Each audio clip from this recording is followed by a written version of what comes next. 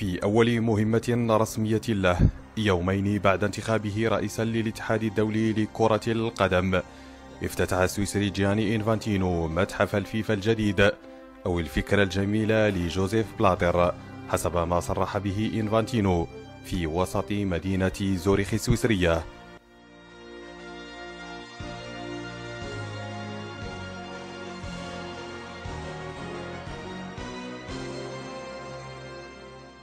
شيد المتحف على مساحة ثلاثة آلاف متر مربع ويتيح المتحف للزوار فرصة السفر عبر التاريخ من خلال عرض أكثر من ألف قطعة عبارة عن أقمصة وأحذية وكرات التي تم استخدامها منذ عام 1900 حتى كأس العالم الأخيرة بالبرازيل سنة 2014 وأزيد من 1400 صورة وما يقارب 500 شريط فيديو كما يتوفر المتحف على العديد من الوسائط التفاعلية من أجل ضمان تجربة فريدة للزوار وستين شاشة تعرض فيها لقطات متعلقة بكرة القدم.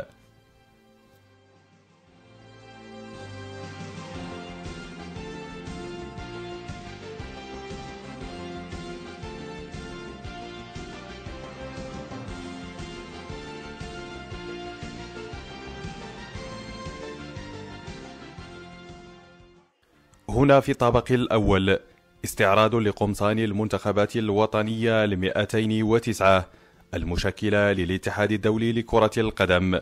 وهنا على الجدار علقت صور للرؤساء الذين تناوبوا على رئاسة الفيفا وبعض الأحداث التي طبعت تاريخ الكرة العالمية. ولمعرفة تاريخ كرة القدم المغربية ما عليك إلا بالنقر على هذه الشاشة. حتى تظهر لك كل البيانات الخاصة بالمنتخب وبالجامعة الملكية المغربية لكرة القدم.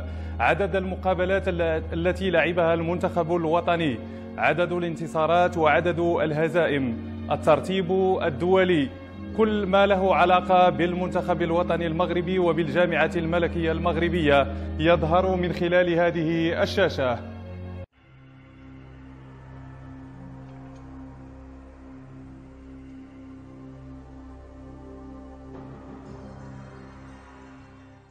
في الطابق الثاني من المتحف وتحت حراسة أمنية مشددة تتألق النسخة الأصلية لكأس العالم للرجال وبجانبها النسخة الأصلية الخاصة بكأس العالم للسيدات.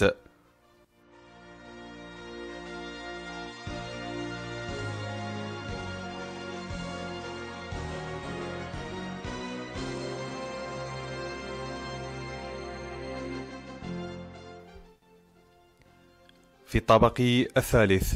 حضور متميز للتحكيم المغربي. من خلال عرض صورة لقميص يحمل شعار الجامعة الملكية المغربية لكرة القدم واللجنة المركزية للتحكيم وبورتري عن الحكمة المغربية لمياء لوراغي التي حصلت على الشارة الدولية سنة 2011